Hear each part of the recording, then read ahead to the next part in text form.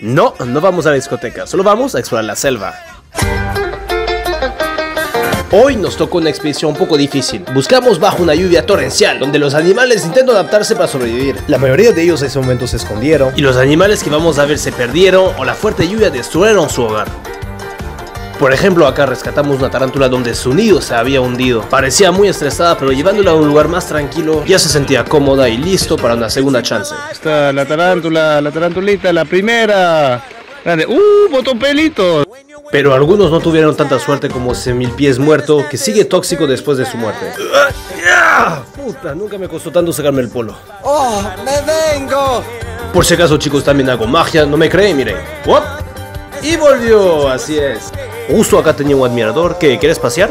Estas tarántulas son arbóreas y suelen vivir en los árboles. Hablando de árboles, justo agarré esa hoja, pero estaba viva, miren. Es un saltamonte. Es totalmente